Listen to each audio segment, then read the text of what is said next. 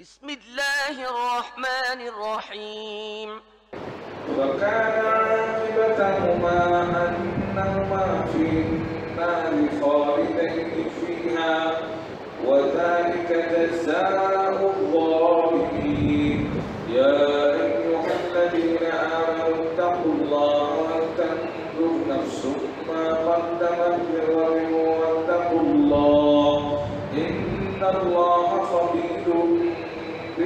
تعملون. ولا تكونوا كالذين نسوا الله فأنساهم أنفسهم. أولئك هم الفاسقون. لا يستوي أصحاب النار وأصحاب الجنة. أصحاب الجنة هم الفائزون. لو أنزلنا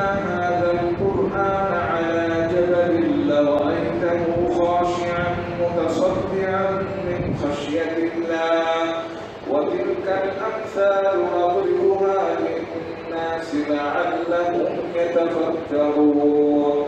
والله الذي لا إله إلا هو عالم الغيب والشهادة هو الرحمن الرحيم. هو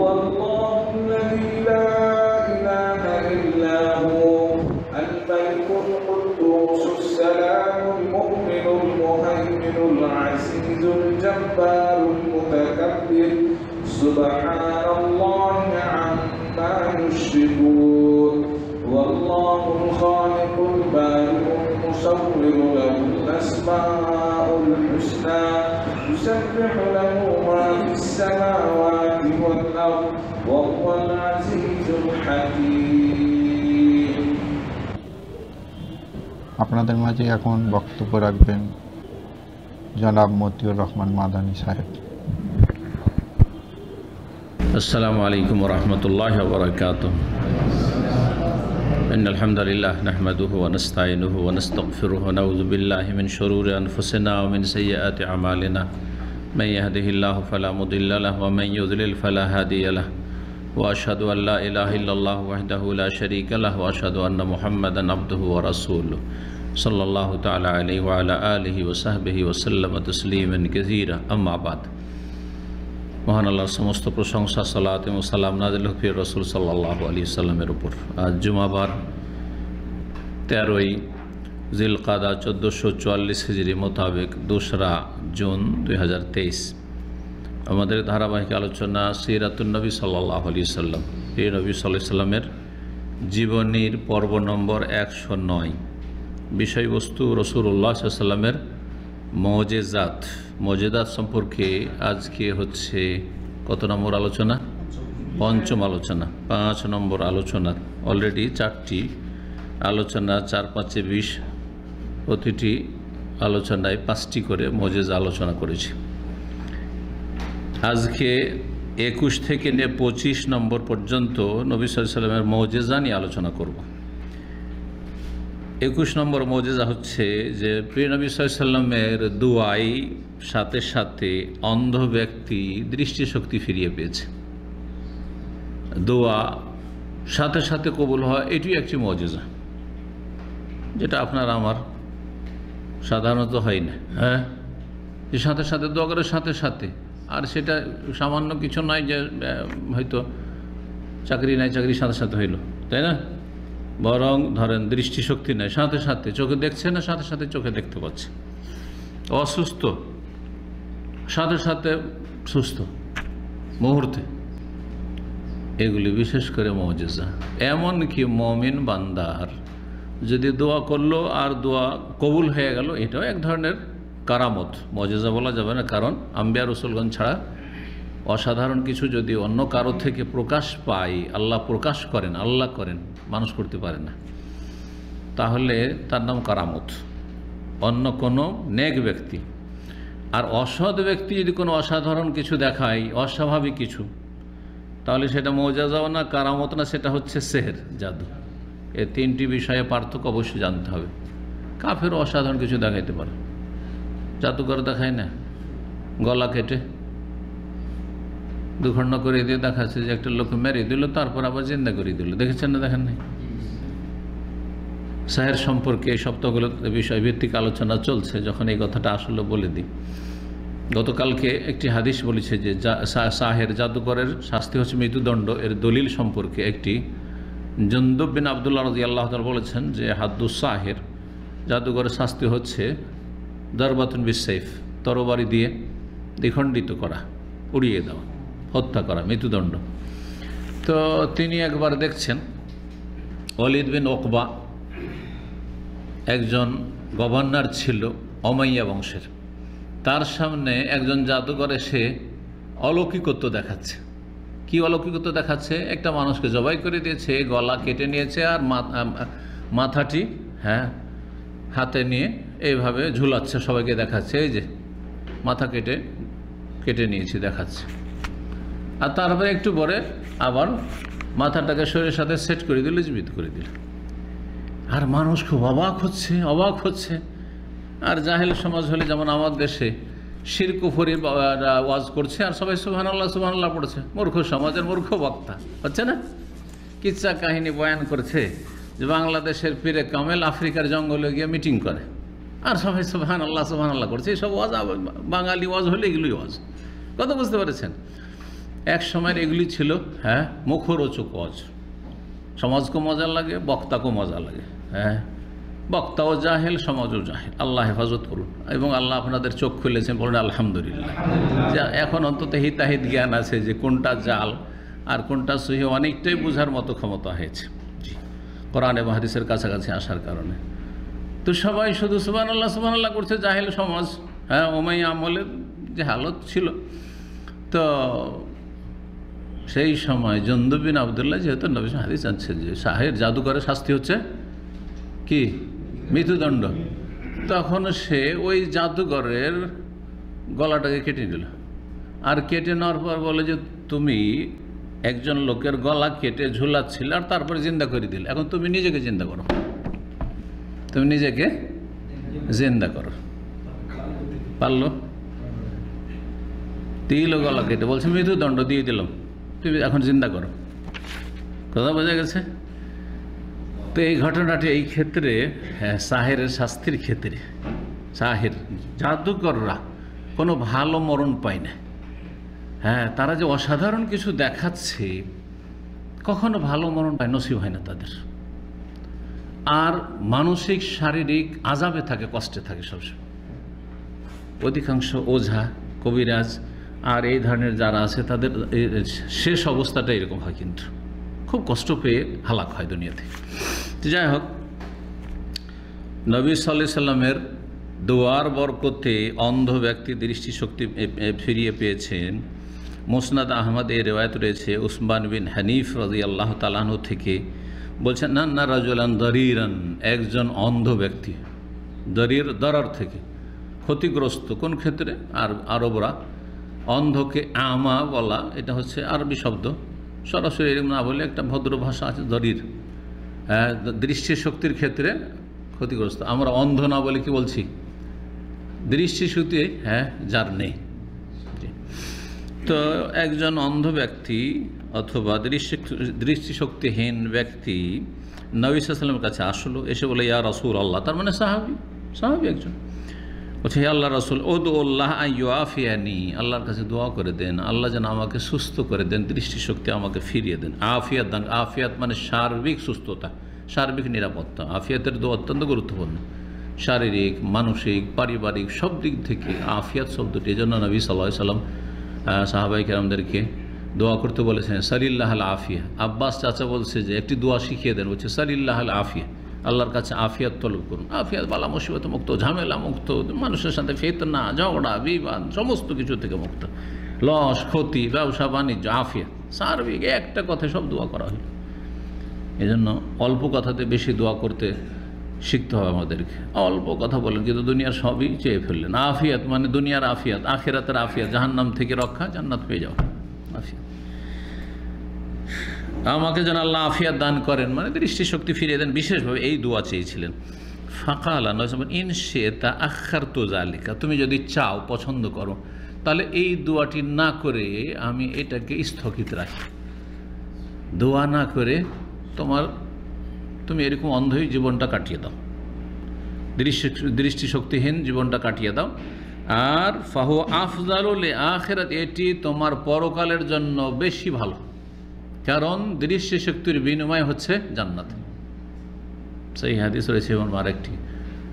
যার আল্লাহ দুটো চোখ নিয়ে নিয়েছেন তার সাথে আল্লাহ ওয়াদা করেছেন, তাকে জান্নাত দেবেন।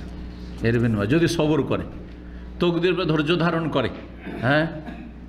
ধৈর্য ধারণ করতে হবে কিন্তু। কিন্তু হাহাকার অবস্থা, অসন্তুষ্টি, আল্লাহ, এত বড় বালা মুসিবত দিয়েছিল আল্লাহ। আল্লাহ কত লোক ভালো চলছে, আমি দুনিয়ার কিছুই দেখতে পেলাম না আল্লাহ। যেমন আল্লাহর বিরুদ্ধে অভিযোগ তাহলে পাবেন না কিন্তু। সাবার করতে হবে আল্লাহ মুসিবতের ওপর তাহলে জান্নাত। ওয়াইন সেটা দাওয়াও তো লাগে আর তুমি যদি চাও যে না, আমি এখনই চাই, দৃষ্টি শক্তি ফিরিয়ে চাই, তাহলে জান্নাতের নিশ্চয়তা নেই, জামানত নেই জামানত নেই। তুমি যেটা চাও। তখন তিনি বলছেন যে, না, আমি এখনই চাই। বাল ওদুল্লাহ আলী, আমার জন্য দোয়া করে আমি চাই। আখেরাতের জন্য চেষ্টা করব, আল্লাহর কাছে রহমত চাইব, জান্নাত চাইব, কিন্তু আমার দৃষ্টিশক্তিটা ফিরিয়ে চাই আমি।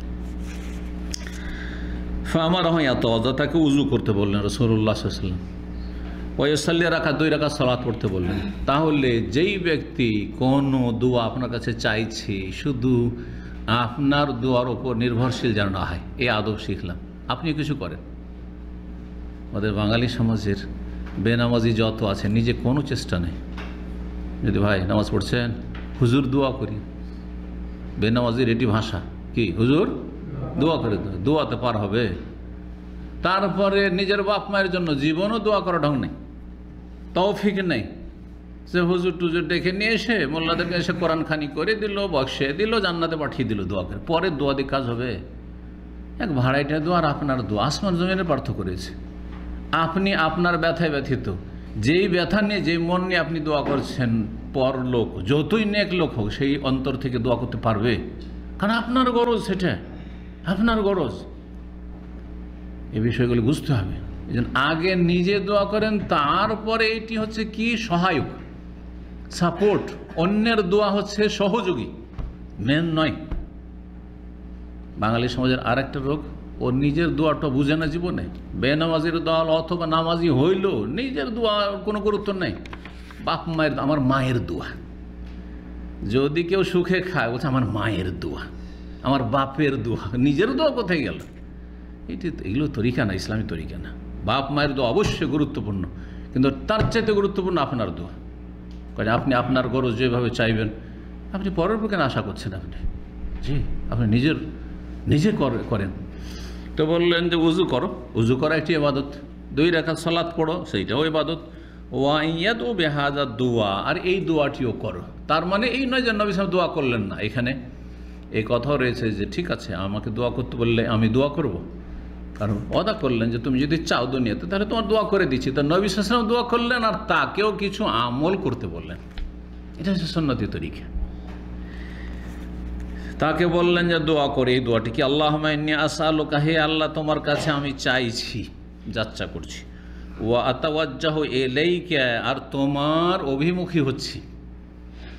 বেনবী একা মোহাম্মদিন নবী রহমাহ, তোমার নবী মোহাম্মদ সাল্লাহ আলী সাল্লামকে নিয়ে হ্যাঁ আমি তোমার অভিমুখী হচ্ছি, তোমার কাছে চাইছি, নবী সাল্লাহ আলী সাল্লামের দুয়ার ওসিলা, এখানে বেনবী মানে নবী সাল্লামের দুয়ার ওসিলা। আমিও চাইছি আর আর একটি ওসিলা মাধ্যম হচ্ছে নবী সাল্লামের দুয়া এখানে দুয়াকে ওসিলা বানানো হয়েছে। যিনি রহমতের নবী, রহমতুল্লিল আলমিন। তারপরে শিখিয়ে দিচ্ছেন, বলো, ইয়া মোহাম্মদ, হে মোহাম্মদ সাল্লাম ইন্নি আতাওয়াজ্জা হবে কা আমি আল্লাহ অভিমুখী হচ্ছি আপনাকে সাথে নিয়ে মানে আপনার দোয়া সাথে নিয়ে। ফি হাজাতি হাজি, আমার এ প্রয়োজন তাগিদের ক্ষেত্রে। কি প্রয়োজন? যে দৃষ্টিশক্তি আল্লাহ যেন ফিরিয়ে দেন। হা তোকদা যাতে করে সেই আমার প্রয়োজন মিটিয়ে দেওয়া হয়, পুরা করা হয়। আল্লাহ শফে হুফিয়া হে আল্লাহ, নবী সাল্লামের সুপারিশ আমার ব্যাপারে কবুল করো। দুনিয়ার সুপারিশ হচ্ছে দোয়া। নবী সাল্লামের সুপারিশ, নবী সাল্লাম বেঁচে আছেন কি না বেঁচে আছেন, তাই না? তো নবী সাল্লামের সুপারিশ আল্লাহর কাছে মানে নবী সাল্লামের দোয়া, যে নবীকে দোয়া করতে বললাম, তিনি দোয়া করেছেন, আল্লাহ তার দোয়াটি সুপারিশ আমার জন্য তোমার কাছে, তুমি নবীর সুপারিশটি, নবীর দোয়াটি আমার জন্য কবুল করো। আর আমি দোয়া করছি নবী সাল্লামের দোয়ার সাথে সাথে সেই দোয়াটিও কবুল করো। নিজে আমল করলেন, এবং নবী সাল্লামের দোয়াকে ওসিলা বানালেন। ফাফাল রাজল, ওই ব্যক্তি এভাবে দোয়া করল যখন তাকে শিখিয়ে দেওয়া হলো ফাবারিয়া সুস্থ হয়ে গেল, দৃষ্টিশক্তি ফিরে আসলো। এই হাদিসটিকে যারা বেদাতি ওসিলা, পন্থী, তারা বেদাতি ওসিলার ক্ষেত্রে ফিট করেছে। তারা বলছে যে এখন নবীর হ্যাঁ নবীর ব্যক্তিত্বকে, নবীর জাতকে ওসিলা বানানো হয়েছে। কিন্তু নবীর জাতকে এখানে ওসিলা বানানো হয় নবী সাল্লা ইন্তেকালের পরে নবীর নাম নে হে আল্লাহ, তোমার নবী পাকের ওসিলায় আমার এই মনস্কামনা পূরণ করে দেখো, করেছেন? না করেনি কোনো হাদিস নেই। কোনো সহি হাদিস নেই। কিন্তু অপব্যাখ্যা আছে, এটার অপব্যাখ্যা। এখানে দেখেন, সাহাবি দোয়া চাইছেন। আর তারপরে বলছেন, তুমি যদি চাও তাহলে দোয়াটা স্থগিত রাখি, তোমাকে জান্নাত আল্লাহ দেবে, আখেরাতের উত্তম বিনিময় দেবে। আর যদি বলো যে, না ওয়াইনশিয়া তুমি যদি চাও যে, না, আমার দৃষ্টিশক্তি এখনই ফিরিয়ে দিতে হবে, আল্লাহ যেন ফিরে দাও তো লাখ, তোমার যেন দোয়া করব। তো দোয়া করলেন না করলেন না বিশ্বাস ওয়াদা করেছেন মানে ওয়াদা পূরণ করলেন। তাহলে এইখানে যে ওসিলাটি নিয়েছেন, সেটা হচ্ছে কি? পিয়া নবী সাল্লামের দোয়ার ওসিলা, ব্যক্তির ওসিলা না ব্যক্তির ওসিলা আল্লাহর ক্ষেত্রে প্রযোজ্য না। ব্যক্তির সোর্স ধরে গিয়ে দুনিয়ার কোনো শাসকের কাছে কোনো গরজ হাসিল হয়। যদি বড় কোনো এক নেতার কাছে, মন্ত্রীর কাছে যাচ্ছেন, অথবা প্রধানমন্ত্রীর কাছে যাচ্ছেন, আর খুব একজন প্রভাবশালী নেতা আছে, ধরেন এমপি আছে, যারা অনেকটা প্রভাব আছে পার্টিতে, আর গিয়ে যদি বলেন সেখানে যে আমি অমুকের রেফারেন্সে অমুকের এলাকার লোক, অমুক এমপির মিনিস্টার তিনি আমাকে পাঠিয়েছেন তাহলে শতবার হয়তো প্রধানমন্ত্রীও চিন্তা করবে যে ওই মন্ত্রীকে অসন্তুষ্ট করা যাবে না। কারণ সে আমার ডান হাত, বাম হাত। সে যদি পার্টি থেকে বেরে আর এক পার্টিতে যোগ দেয়, গণতন্ত্রে কিন্তু এই মোনাফিকের সুযোগ খুব আছে। পাস করলেন আওয়ামী লীগ থেকে, আর তারপরে ভেড়ে গেলেন গিয়ে বিএনপিতে পাস করলেন বিএনপি থেকে ভোট নিলেন বিএনপির নামে, আর ভিড়ে গেলেন গিয়ে তারপরে আর এক দলে, আর তারপরে গলাতে চাদর মাদর দিয়ে আপনাকে সব বরণ করছে। দেখছেন না? দেখ মোনাফিকি নয়। মোনাফিকি নয়। চিন্তা করুন বিষয়টা একটা। আর এটা খুব অহরহ হচ্ছে ভারত বাংলাদেশে। জাতির সাথে ধোকাবাজি নয়। জাতি আশা করে দিয়েছে, ঠিক আছে। কোনোটাই নেকির কাজ নয়, সব বাতিল পন্থে কিন্তু যারা ভোট দিয়েছে, তারা তো আপনাকে এই পার্টি মনে করে দিয়েছে। যদি এই দৃষ্টিভঙ্গি থেকে নেন, এমনি ইসলামের দৃষ্টিভঙ্গি হচ্ছে যে সমস্ত বাতিল, গণতন্ত্র বাতিল। কিন্তু কথা হচ্ছে যে আপনি সাময়িক যদি ধরেন যে জনগণ ভোট দিচ্ছে অমুক দলের বলে, আর আপনি রাতারাতি আপনার পেটের গরেজে অথবা অপরাধী ক্রাইম করে রেখেছেন, দেখছেন যে আমাকে তো এই দল ফাঁসিয়ে দেবে তখন ওই দলে চলে গেলেন, যাতে করে আপনার কেসগুলো সব ঠান্ডা হয়ে যায়, ঢাকা পড়ে যায়। বাস্তব সত্য কিনা এগুলো? জি হ্যাঁ জি। তো কি বলছিলাম? মানুষের কাছে সুপারিশ ক্ষেত্রে অনেক সময় মানুষ চাপে পড়ে যায়। কাজটা না করে দিলে ওই লোকটি অসন্তুষ্ট হয়ে যাবে যার রেফারেন্সে এসেছে। কিন্তু আল্লাহর ক্ষেত্রে কি এই উদাহরণটি প্রযোজ্য? হ্যাঁ? আল্লাহ কি স্বয়ং সম্পন্ন সব ক্ষেত্রে না? না কারও চাপের মুখে? সুতরাং আল্লাহর কাছে কোনো ব্যক্তির ওসিলা, এটি কোরআন, হাদিস স্বীকৃত নয় এবং যুক্তি তো ঠিক না। তারপরে আল্লাহ তো সব কিছু জানছেন, আরেকটি পার্থক্য। আল্লাহ জানছেন না? আপনি যে খুব কঠিন অবস্থায় আছেন, আপনার যে কি কি প্রয়োজন আপনাকে দিতে হবে, এটা আল্লাহ জানছেন না? আপনি কি অন্তর নিয়ে এসেছেন, আল্লাহর সামনে হাজির হয়েছেন, গরজ নিয়ে? আল্লাহ অন্তর্জামি না? সব তো জানছেন আল্লাহ রব্বুল্লাহ সুতরাং আপনাকে কাউকে ভায়া ধরতে হবে, কাউকে ওসিলা ধরতে হবে রেফারেন্সে কারও সোর্সে যেতে হবে, কোনো প্রয়োজন করে রবের কাছে। ফাইনি করিব, আল্লাহ বলছেন কাছেই। তুমি কাছে তো দূরে, ভাইয়া ধরে ওসিলা ধরে কেন দূর থেকে আসছো? কিন্তু রাষ্ট্রপতি, প্রধানমন্ত্রী জানে না যে বেচারা একটা গ্রামের পল্লী গ্রামের লোক খুব বিপদে আছে, খেতে পাই না, সুতরাং তাকে অথবা তার ছেলেকে একটা চাকরি দিতে হবে, জানে না। আর সে যদি গেটে আসে তাহলে সে আপনার সিকিউরিটি তাকে ঢুকতে দেবে না, সুতরাং কারও রেফারেন্সে গেলে তখন ঢুকতে দেবে, কথা বলতে দেবে অ্যাপয়েন্টমেন্ট দেবে, আর তারপরে আর্জিটা পেশ করতে পারবে। ঠিক কি না তাহলে মানুষ শাসকের মাঝে আর শাসকের মালিক যিনি মালিকুল মুলুক, আল্লাহর মাঝে কত পার্থক্য? এই জন্য আল্লাহ রব্বুল আলমীর ক্ষেত্রে ওসিলা, কোরআন এবং হাদিসের কোনো ব্যক্তির ওসিলা, কোরআন হাদিসের আলোকেও টিকে না। বাতিল, বেদাতি ওসিলা অথবা শিরকি ওসিলা, কোনো ব্যক্তিকে ওসিলা ধরা আর যুক্তিতেও টিকে না। আশা করি আমার কথাগুলো বুঝছেন, কারণ সূক্ষ্ম যুক্তি এগুলো, জি। কিন্তু দুয়া জায়জ ওসিলা কয়টি? শরীয়ত সম্মত ওসিলা কয়টি? তিনটি। কি কি? আল্লাহর নাম অথবা গুণা বলি। আল্লাহ, তুমি রহমান, তুমি রহিম, তুমি আল্লাহ আমাকে মাফ করো, দয়া করো। আল্লাহর নামকে ওসিলা বানাইলেন। হ্যাঁ? নাম গুণকে তোমার রহমতের ওসিলায় আমার উপরে দয়া করো। হ্যাঁ? ইত্যাদি ইত্যাদি। আল্লাহর নাম এবং গুণা বলি। আসমা, সিফাত। দুই নম্বর। নেক আমলের ওসিলা। আল্লাহ, আমি ইমান নিয়ে এসেছি। আল্লাহ দুই রাখা সলাৎ পড়লাম। আল্লাহ, আমি দান খায়রাত করলাম। আল্লাহ, আজকের দিন আমি একটা শ্যাম রোজা পালন করলাম। আল্লাহ, তুমি এই নেক আমলের ওসিলায় তুমি আমাকে মাফ করো। নেক আমলের ওসিলা ধারা। ওই যে তিনজন হ্যাঁ প্রাচীন যুগের পাহাড়ের গুহায় গিয়ে আটকে গেল। পাথরে সে মুখটা বন্ধ হয়ে গেল। তার সবাই নেক আমল পেশ করতে লাগল না লাগল না। পাথর হেঁটে গেল। হ্যাঁ কেরামতি এটি। যেহেতু নবীর রসুল ছিল না, কিন্তু অলৌকিক ঘটনা, পাথর এমনিতে স্বাভাবিক অবস্থায় গেট, দরজা বন্ধ হয়ে গেছে আর গুহার, আর তারপরে সরে গেল, এটি কারামত। প্রাচীন যুগ কারামত ছিল। মমিন বান্ধবদের এখনও আছে এখনও হইতে পারে এরকম আপনার আমার ক্ষেত্রে। গাড়ি শেষ হয়ে গেছে, কিন্তু মানুষ শেষ হয়নি। কারামতে না? অবশ্যই কারামত। আল্লাহসা থেকে একটা ওমরা বাস গিয়েছিল, আজকে আট দশ বছর আগে, রমজান মাসে ছিল। সেই বাস আমাদের শেখ সাইফুদ্দিন বেলাল হাফাজুল্লাহ তালা ছিলেন। ঘটনা শুনেছেন না? এখানে যারা ছিল প্রথম তারপর অনেক লোক মারা গেছে, অনেক লোক মারা গেছে। একটা ছোট বাচ্চা, দু চার ছয় মাসের বেশি বয়স হবে না হয়তো। মানে খুব নির্দিষ্ট করে বলতে পারছি কিন্তু একেবারে শিশু বাচ্চা মায়ের কোলে ছিল। সেই বাচ্চাটি ছোটকে দূরে মরুভূমিতে পড়ে আছে। বাস থেকে অনেক দূরে পড়ে আছে, নিরাপদ, কিছুই হয়নি, অক্ষত, কিছুই হয়নি। এটি কারামত নয় বাচ্চার? বাচ্চার কারামত সেটি আল্লাহ সম্মান কারামত সম্মানিত করেছেন তাকে। আল্লাহ বাঁচাবেন তাকে। হতে পারে আল্লাহর ফেরেস্তারা অথবা যেইভাবে হোক না কেন স্পেশাল ধরে নিয়ে গিয়ে ওখানে রেখে দিচ্ছে গাড়ি যখন পোলট্রি খাচ্ছে। কারামত এগুলো। জি। এই জন্য কারামত শেষ হয়নি। কারামতের বিভিন্ন ধরন আছে। ভাবতেই পারে না মানুষ। জি। যে এইরকম পরিস্থিতিতে বাঁচতে পারে তো বাঁচলো তো কীভাবে? এত দূর গেল তো বাচ্চাটা কীভাবে? হ্যাঁ? সব আল্লাহর কাজ। আল্লাহর কাজ। জি। তো যাই হোক, দ্বিতীয় ওসিলা হয়ে গেল তাহলে নেক আমলকে ওসিলা বানান আপনি। যে কোনো নেক আমলকে আপনি ওসিলা বানান। মা বাবার সেবা করেছেন আপনি। ছেলে মেয়েদের খুব কষ্ট করে মানুষ করেছেন। আল্লাহ অনেক কষ্ট করে আল্লাহ মানুষ করেছি, অনেক কষ্ট করেছি আল্লাহ রবুল আলমী কত যে মেহনত করেছি আর কত যে অপদস্থ হয়েছি আর কত যে বিদেশে প্রবাসে কষ্ট করে আমি রুজি রোজগার করে ছেলে মেয়েদের জন্য আল্লাহ আমার এই সততার সাথে আমি হালাল রুজি ছেলে মেয়েকে খাব সেই জন্য নিয়তটা আমার সৎ ছিল আল্লাহ। এই ওসিলাতে আল্লাহ আমার ছেলে মেয়েগুলোকে নেক বানিয়ে দাও। দোয়া করা যায় না?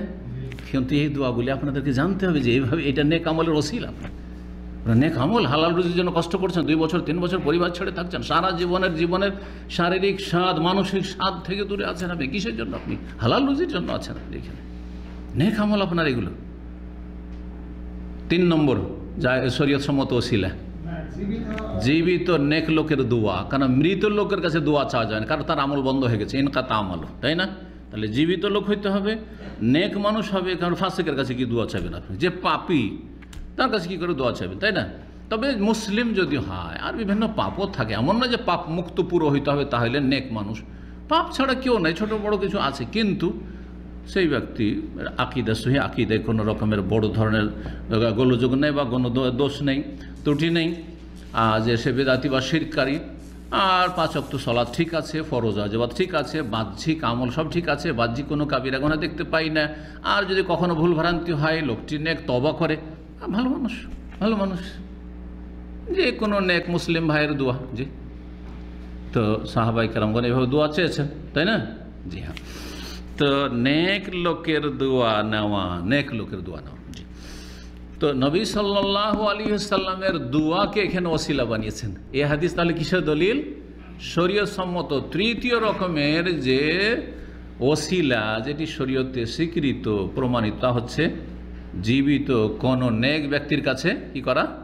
দোয়া চাওয়া এবং তা সেই দোয়াকে ওসিলা বানানো। হাদিসটি এই যে মজেজার হাদিসটি সোনান ইবিন মাজায় রয়েছে। হাদিসটি কাল্লাম আলবানী সহি বলেছেন। ইবিন মাজার তেরোশো পঁচাত্তর নম্বর হাদিস। বাইশ নম্বর মজেজা। আলী রাজি আল্লাহ তালানহর চোখ উঠেছিল। এত বেশি চোখ উঠেছিল যে চোখ খুলতে পারছিলেন না তিনি। ঘটনা কোথাকার ছিল? খয়বরের যুদ্ধের হ্যাঁ সময়কালে যুদ্ধ রয়েছেন। আর খয়বরের দুর্গ যে ইহুদিদের তা কয়েকদিন ধরে অবরোধ করা আছে, কিন্তু দুর্গের ফাটক খোলা সম্ভব হয় না। দুর্গ ভেদ করে ভিতরে ঢোকাও সম্ভব হয় না। আর ইয়াহুদিরা সুরক্ষিত হয়ে গেছে, নেমেও আসে না স্যারেন্ডারও করে না।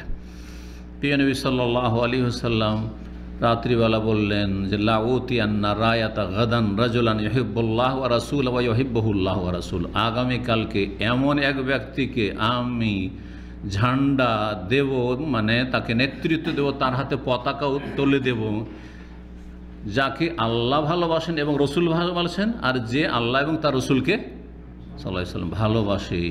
সার্টিফাই করলেন যে সে আল্লাহ রসুলকে ভালোবাসে আর তাকেও আল্লাহ ভালো, রসুলও ভালোবাসেন সাল্লাহ সাল্লাম। এটা সার্টিফিকেট আর আমার আপনার সার্টিফিকেট না, যে সার্টিফিকেট কোনো মূল্য নেই। আমি যদি বলি যে এই লোকটিকে আল্লাহ ভালোবাসেন, রসুল ভালোবাসেন কোনো সার্টিফিকেট হলো? কারণ আমি গায়েব জানি না, আমার কাছে ওহি নেই। আমার এটা অনুমান, ঠিক হইতে পারে, আবার ভুল হইতে পারে। ভুল বলব না, কিন্তু ঠিক হইতে পারে, আবার ভুলও হইতে পারে। কিন্তু নবী সাল্লা সাল্লাম তো ওহিতে বলছেন, তাই না? তো আলী রাজি আল্লাহ তার জন্য বড় সার্টিফিকেট যে আলী রাজি আল্লাহ তার আল্লাহ এবং রসুলকে খুব ভালোবাসতেন এবং আল্লাহ আর তার রসুল সাল্লাম আলীকে খুব ভালোবাসতেন। ইফতাহিল্লাহ আলাইয়া দিহে, তার হাতে আল্লাহ বিজয় দান করে, কালকে খাইবার বিজয় করতে পারব আমরা, তার নেতৃত্বে। সকাল হয়েছে। এই ফজিলত হাসিলের জন্য মর্যাদা হাসিলের জন্য সবাই এসে আগে ভাগে হাজির। সব মাথা উঁচা করে, যে হয়তো আমাকে ডাকবে আমাকে যা দেখতে পাবে, আমাকে তাকিয়ে আছে সব, অপেক্ষায় রয়েছে। এদিক সেদিক দেখছেন, আছে তো সবাই, কিন্তু আলী কই? আই না আলী আলী কোথায়? তখন কি বলা হইল?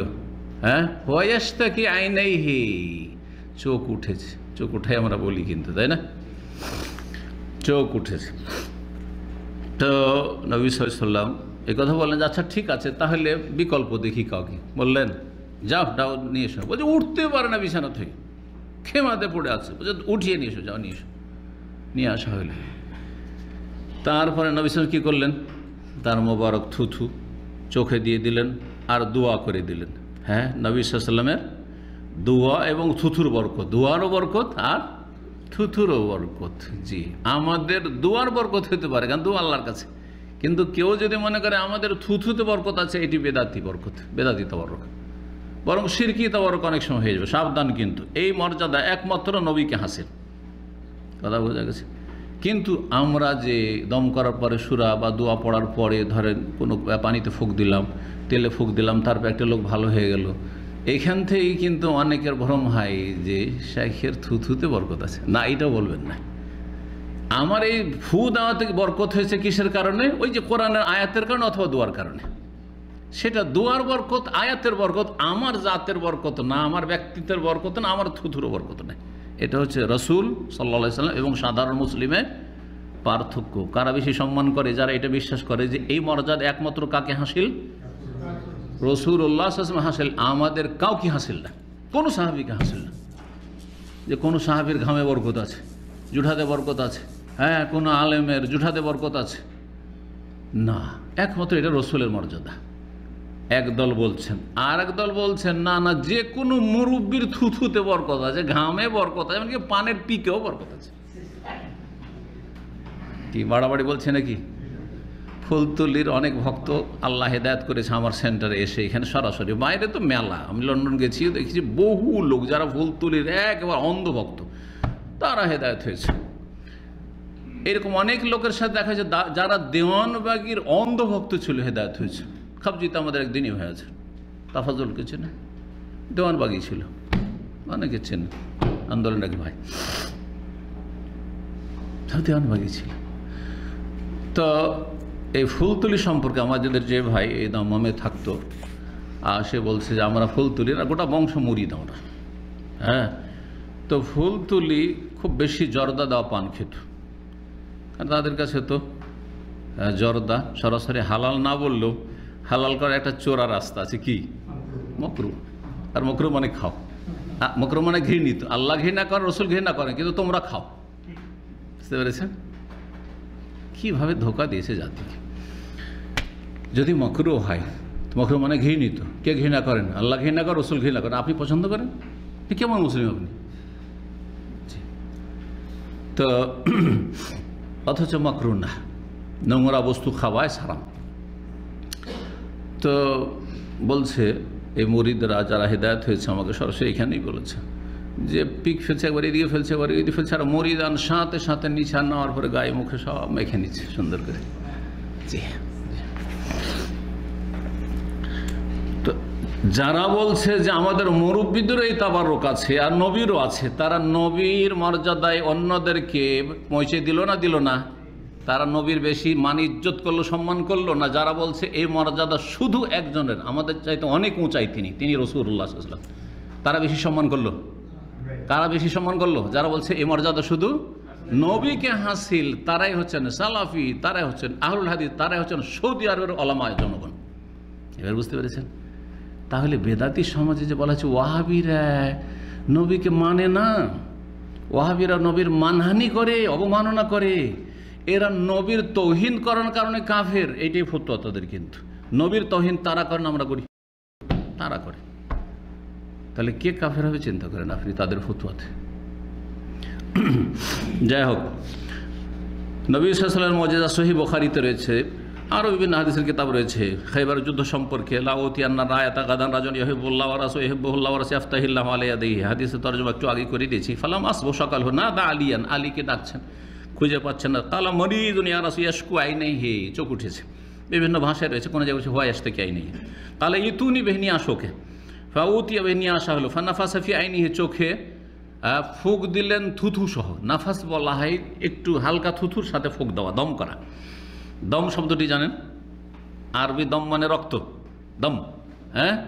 আর ফার্সি দম মানে হচ্ছে ফুঁক। বুঝছেন না? আর বাংলা দম মানে দম আটকে যাওয়া। বলেন না, বলেন আপনার দম। দম বন্ধ হয়ে আসছে, জি। এই জন্য ভাষা জ্ঞান থাকতে হবে। না হলে এক একাকার করে দিই, কোন দম যে বললেন। জি। তো, নিয়ে আসো। ফুক দিলে বেকালিল মেনরিক এই সামান্য থুথুর সাথে সরি সরি ফাবারিয়া লে তৌ সাথে সাথে সুস্থ হয়ে গেল সাথে সাথে। দেখেন ফুক দিলাম হ্যাঁ দু তিন দিন ধরে ফুক দিছি তারপরে চোখ ভালো হয়ে গেলো এগুলো অনেকেরই হইতে পারে। আলেমল মারা হচ্ছে হ্যাঁ, ভালো মানুষের হচ্ছে আপনার বাপ মা ফুক দিয়ে তাতেও হইতে পারে অসুবিধা নেই কারণ দুয়ার বরকত। মেন হচ্ছে দুয়ার বরকত। তারপর একটি কথা মনে রাখবেন দোয়া আপনিও করেছেন আমিও করছি কিন্তু যে যত বেশি নেক তার দোয়ার তাসির তত দ্রুত হবে এইটা অবশ্য সত্য স্বীকৃত। আপনি সেম দোয়া পড়ছেন, আমিও সেম দোয়া পড়ছি, আর আপনি আমার চাইতে নেক হতে পারে যে আমি দশ দিন দোয়া করে যে কাজ হচ্ছে না, আপনি দু তিন দিন দোয়া করে সেটা হইতে পারে। কথা বুঝতে পেরেছেন? এই পার্থক্য অবশ্যই আছে। সবাই একই পর্যায়ে নয় ক্ষেত্রে। আল্লাহ যেন আমাদের সকলকে নেক হওয়ার তৌফিক দান করেন। সাথে সাথে ভালো হয়ে গেলেন আর তারপরে বলছেন যে, তারপরে যতদিন তিনি বেঁচে থেকেছেন, কখনো চোখের কোনো রোগ হয়নি তার। কোনো দিন চোখ ওঠেনি কোনো চোখের কোনো রকমের ব্যাধি দেখা যায়নি। জি। নবী সাল্লামের মজেজাতে এটাও ছিল। আমাদের কারও দোয়াতে যদি কারও চোখ ভালো হয়ে যায় বা কোনো অসুখ ভালো হয়ে যায় তো হইতে পারে আবার এফেক্ট হইতে পারে। আবার ফিরে আসতে পারে কিছুদিন পরে আবার অসুস্থ হইতে পারে। কিন্তু নবী সাল্লাহ ইসলামের মজিজা এটা হচ্ছে অসাধারণ। একবার ভালো হয়ে গেলে আর ওই রোগ জীবনে হলো না। শুধু এই ক্ষেত্রে না, বেশ কিছু মজেজা, আমি অনেক মজেজা পড়ে দেখেছি, অনেক এইরকম নবী সাল্লামের দোয়ার বরকতে ভালো হয় দেখেছি, জীবনে আর ওই অসুখ হয়নি তাকে। সারা জীবন সুস্থ থেকেছে। এই ছিল বাইশ নম্বর মজেজা। তেইশ নম্বর মজেজা, এই হাদিসটি তো সহি, যেহেতু সহি বখার, মুসলিম রয়েছে। আর তেইশ নম্বর মজেজা, কাতাদা রাজি আল্লাহ একজন সাহাবি ছিলেন তার চোখ ওহুদের যুদ্ধে কাফেরদের অস্ত্রের আঘাতে লটকে গিয়েছিল, ঝুলে গিয়েছিল। গালে ঝুলছিল চোখ। চোখটা বেরিয়ে চলে এসেছে চোখের মণি। বেরিয়ে চলে এসছে আর ঝুলছে। এই অবস্থায়। বলছেন যে ইলফি অহুদ উসি বা কাতাদাত নোমান কাতাদা ইবিনা নোমান রাজি আল্লাহ তালানহ আঘাত পেয়েছেন ওহুদের যুদ্ধে। ফি আইনেহি তার চোখে, একটা চোখে। হাত্তা সাকাতা চোখটা পড়ে গেছিল, ভিতর থেকে বেরিয়ে। চোখের মনি ওতাদাল্লা তালা অজনাতে গালের ওপর ঝুলছিল, ঠিক আছে? লহ আকবর ফারাদ্দাহা বিয়াদিহি শরীফা, নবী সাল্লাম তার মোবারক হাতে সেইটাকে ধরে ভিতরে ঢুকিয়ে দিলেন। চোখটাকে ধরে হ্যাঁ ভিতরে সেট করে দিলেন ঢুকিয়ে দিলেন, জি। ফাবারিয়া তালফর সাথে সাথে ভালো হয়ে গেল সাথে সাথে সুস্থ হয়ে গেলেন। কথা তার রাজি আল্লাহ তালান বরং বলছে ওয়াকানাত আহসান আমিনা কাবল তার আগে যত তার দৃষ্টিশক্তি, তার চাইতো দৃষ্টিশক্তি সুন্দর হয়ে গেছিল সেই চোখের। কথা তার এই হাদিসটি মুসনাদে আবু ইয়াল্লাতে রয়েছে, হাদিসের একটি কিতাব, এবং মুস্তাদার হাকেমে রয়েছে হাদিসের সনদ হাসান সনদ হাসান। দুর্বল নাই তাহলে। রেওয়াজটি এই তাহাকি গবেষণাটি তাহজিবুল কামালের মহাক্কে গবেষক আল্লামা বাশার আওয়াদ, একজন সিরিয়ান মতো আলেম। তার অনেক তাহাকি গবেষণা রয়েছে হাদিসের ওপর হাদিসের তিনি স্পেশালিস্ট ছিলেন, তিনি উল্লেখ করেছেন। চব্বিশ নম্বর মজেজা। নবী সাল্লামের জুঠা পান করে বা জুঠা দিয়ে একটা শিশুর রোগ, আরও শিশু অসুস্থ ছিল, সে রোগমুক্ত হয় বা সে আরোগ্য লাভ করে। এই হাদিসটি ইবিনে মাজায় রয়েছে তিন হাজার পাঁচশো বত্রিশ। আর মোসান্নাফ ইবনে আবি সাইবাই রয়েছে, বলছেন, আন্না ইমরাতামিন খাস আম খাস আম বংশের জনৈক মহিলা নবী সালামের কাছে তার একটি নাবালক শিশুকে নিয়ে আসলো বেসাবি ইন নাবালক বাচ্চাকে নিয়ে আসলো। বেহি বালাউন লায়াতাকাল্লাম তার এমন একটি রোগ ছিল যে সে কথা, তার বাক শক্তি ফুটছিল না, কথা বলছিল না, অনেকের মুখ ফুটে না, বোবা হয়ে থাকে। অথবা দীর্ঘদিন অনেকের বাচ্চা কিন্তু আছেন। ছয় বছর, সাত বছর বয়স হয়ে যাচ্ছে, কিন্তু বাকশক্তি আসছে না, কথা বলতে পারছে না। এরকম অনেক ভাইরাই উল্লেখ করেছেন। এই ক্ষেত্রে প্রথমে একটা তদবির আপনাদেরকে বলে দিই যে, বাচ্চার আজকাল যেহেতু মানুষ একাকী বসবাস করে, আমরা যে গ্রাম অঞ্চলে বসবাস করেছি, গ্রামে বাচ্চা ছোটাছুটি করে গোটা গ্রামের বাচ্চাদের সাথে খেলা করছে, কত কথা বলার সুযোগ পাচ্ছে। তারপরে যদি বেশি গোটা গ্রামে অত দূর ছোটাছুটি না করে, কারণ অনেক অনেক বাড়িতে পরিবারে পাবন্দি। যেন আমার আমাদের বাড়িতে আমার আবার খুব পাবন্দি ছিল। আশেপাশে কারও বাড়ির সাথে ওই বাইরের ছেলেদের সাথে খেলাধুলা করে চরিত্র খারাপ হয়ে যাবে। এই থিওরি ছিল আমার আবার। যার ফলে আমরা আমরা ভাইরা ভাইরা খেলাধুলো। যা খেলবে ভাইরা ভাইরা বাইরে না। কারণ বাইরের ভাষা খারাপ, বাইরে গাল শিখে চলে আসবে, বাইরের সমাজ তো ওইরকমই। সমাজে তো ওই রকমের জ্ঞান চর্চাও নেই আর আমলও নেই। যার ফলে খুব পাবন্দি ছিল আমাদের ওপর কিন্তু তারপরও দুই বছর, তিন বছর পর পর একটা ভাই, দুই বছর, তিন পর একটা ভাই। সুতরাং ভাই ভাই কথা বলে মেলা কথা হয়ে যায়। তারপরে মা বাবা সবসময় বাড়িতে আছে, প্রায় বাড়িতে থাকে। সকালবেলা হয়তো কাজ কাম আছে, সন্ধ্যাবেলা একটু হাটে গেল, আর বাকি সারাদিন তো বাপ আছে বাড়িতে, তাই না? আর মা তো চব্বিশ ঘণ্টা আছে। কিন্তু আজকাল আজকাল কি হচ্ছে? একা স্বামী, স্ত্রী বাস করছে। আর তার মধ্যে স্বামী ওই যে সকালে গেল, রাত্রে দশটা এগারোটা ডিউটি করে আসবে। দুনিয়া রোজগার করে, ব্যবসা বাণিজ্য করে, এসে এমন একেবারে নিস্তেজ হয়ে আসবে যে এসেই লম্বা। আর যদি কিছুক্ষণ জেগেও থাকে, সাথে সাথে টিভির যুগে টিভি ছিল, এখন আর টিভি টিভি না। মোবাইল টিপছাড়ি দিয়ে খাচ্ছে, আর খেয়ে দিয়ে ব্যাস, লম্বা। বাচ্চাদের সাথে একটা কথাও বলে না অনেকে। সুযোগ নাই, শুধু পয়সা আর পয়সা ধান্দা। মা, অনেক মায়ের চাকরি করে। তাহলে বাচ্চা কার কাছে মানুষ হবে? ওই কাজের মেয়েকে দিয়ে চলে গেছে। কাজের মেয়ে পরের ছেলে। কতটা যত্ন নেবে কত ক্যামেরা লাগিয়ে রাখবেন আপনি? হ্যাঁ? ক্যামেরা লাগিয়ে না হয়তো খুব বেশি যে ক্ষতি করলে আপনি দেখতে পাবেন কিছু। তারপরে যে কত ক্ষয়ক্ষতি হচ্ছে। আর শারীরিক মানসিক কত যে কুপ্রভাব পড়ছে। যারা কাজের মেয়েদের কাছে বাচ্চা লালন পালন করে তাদের ইতিহাস খুব কালো ইতিহাস। আল্লাহ হেফাজত করুক। জি, আল্লাহ হেফাজত করুক। তো কি বলছিলাম? যে যার ফলে বাচ্চারা কথা বলার সুযোগ পায় না। কথা বলার সুযোগ পায় না ফ্ল্যাটে বসবাস করে, ব্যাস, সারাদিন ওই জায়গাতে, সীমিত জায়গাতে বন্ধ আছে। আশেপাশে কারোর সাথে তেমন দেখা সাক্ষাৎ নেই। যার ফলে বাচ্চারা অনেক কথা বলেন। এটা চেষ্টা করে। তাতেও যদি না হয়, তাহলে জানবেন যেন বড় ধরনের সমস্যা আছে। তখন বিভিন্ন কারণ হতে পারে, শারীরিক কারণ হতে পারে তার সেটা রোগ, তাহলে চিকিৎসা করাবেন। অথবা যদি শয়তানের অনিষ্ট থাকে, তাহলে সেই রকম ব্যবস্থা নেবেন। তারপরে যদিও শারীরিক অসুখ হয়, সেই ক্ষেত্রেও রুকিয়া শরীয়সম্মত ঝাড়ফুঁক করা।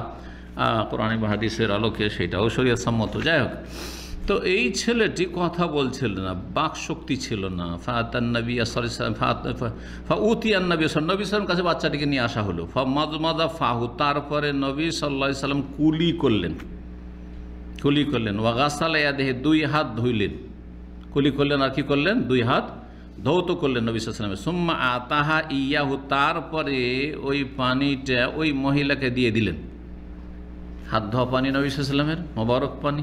নবী সাল্লামের হাত, মোবারক। আর হাত ধোয়া পানি। তারপরে কুলি করা পানি, কুলি দিয়ে দিলেন। আর তারপরে ওই মহিলাকে বললেন যে, বেসাকিয়েহি, তুমি তোমার এই বাচ্চাটিকে, তুমি এই পানি পান করাবে ও মাসে এবং পানিটা দিয়ে গায়ে মালিশ করে দিবে।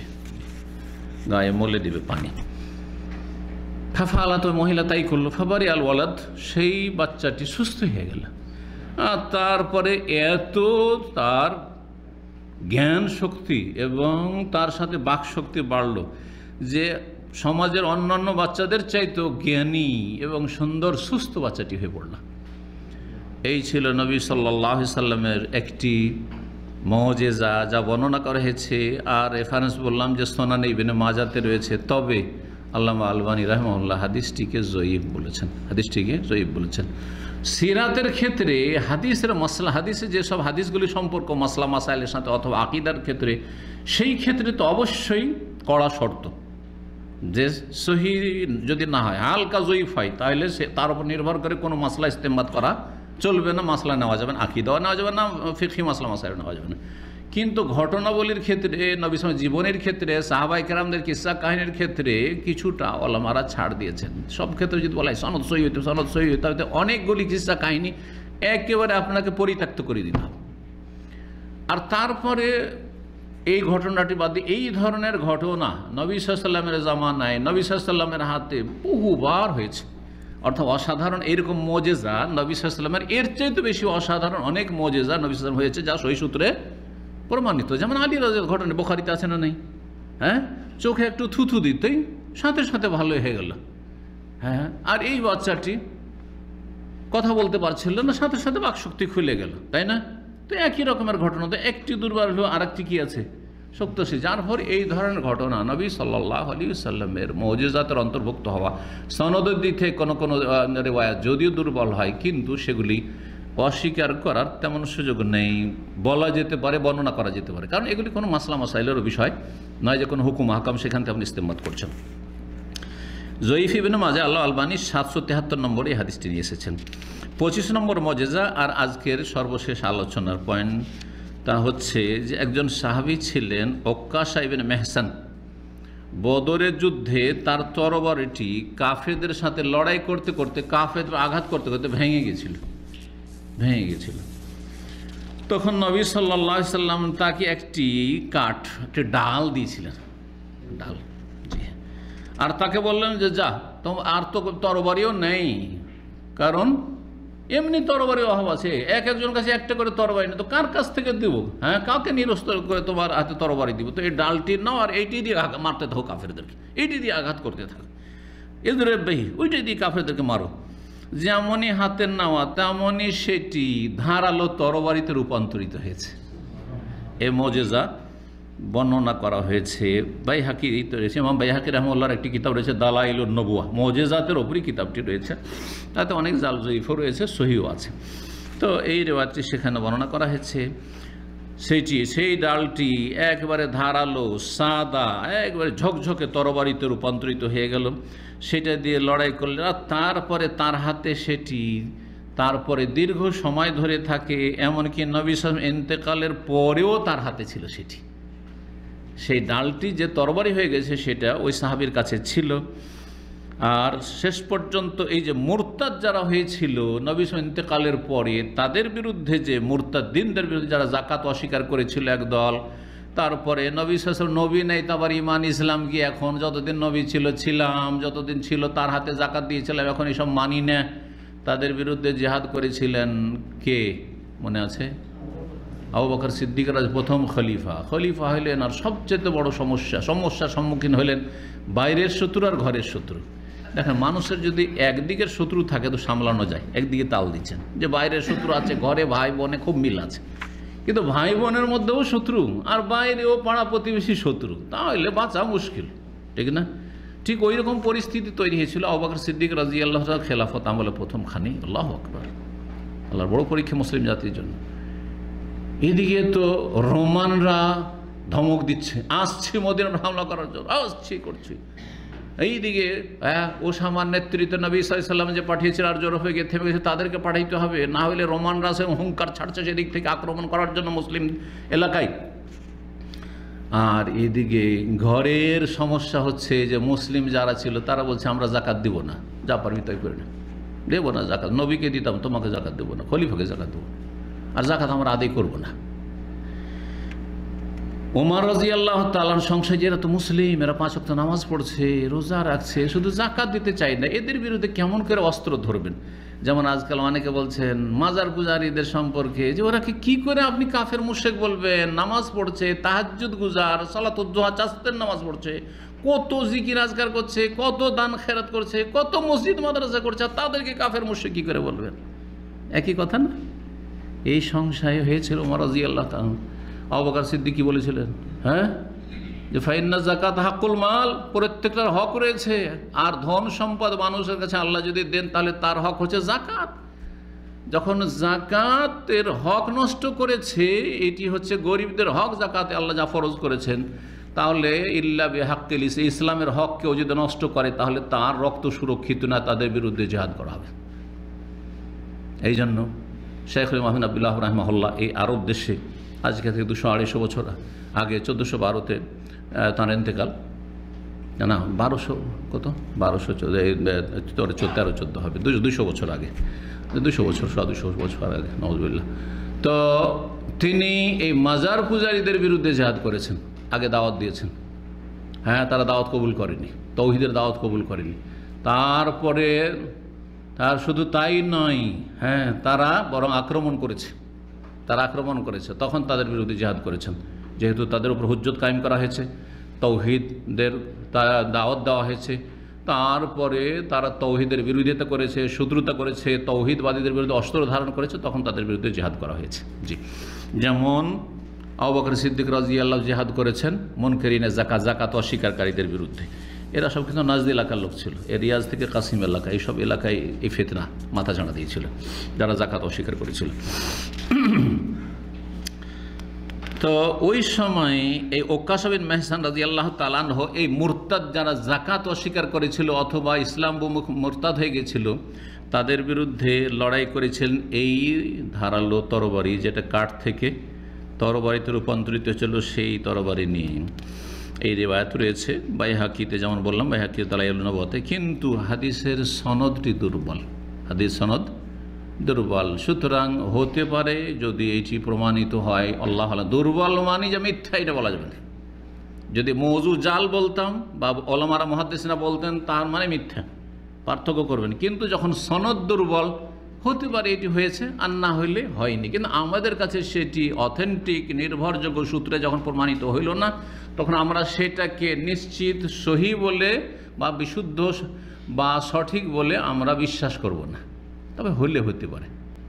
আর এই রকম হওয়াটা মজেজাতে অস্বাভাবিক কিছু নয়, নবী সাল্লাহ আলী তো এই রেওয়াজটি, আর এই কিতাব যে কিতাব থেকে বর্ণনা করছি, এই কিতাব হচ্ছে আল্লামা শেখ আবু বকর জাজাইর রাহমাহুল্লাহ তালা যিনি মসজিদ নবীর ওয়াইজ মোদারের শিক্ষক ছিলেন, তার আগে মধ্যে ইউনিভার্সিটির শিক্ষক ছিলেন।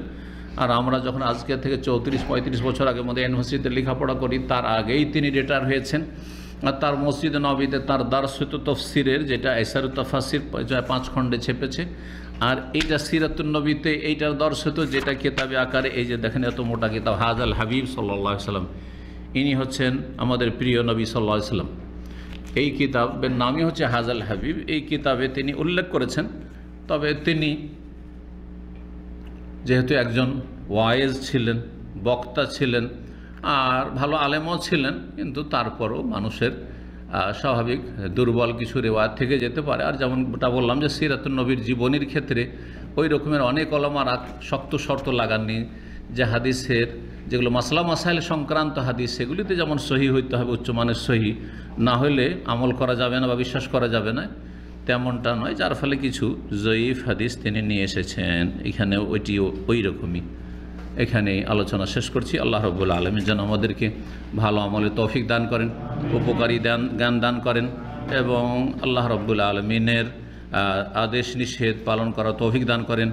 নবী সাল্লাহ সাল্লামের সিরাত, সুরাত গ্রহণের তৌফিক দান করেন।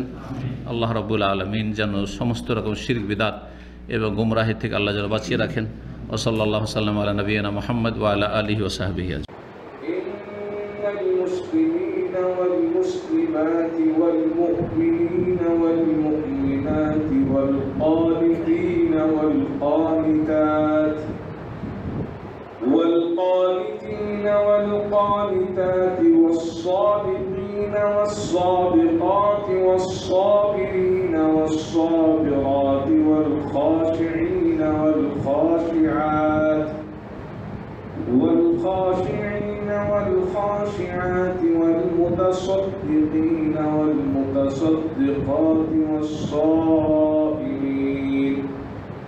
والصائمين والصائمات والحافظين فروجهم والحافظات والحافظات والذاكرين الله كثيرا والذاكرات أعد الله لهم مغفرة وأجرا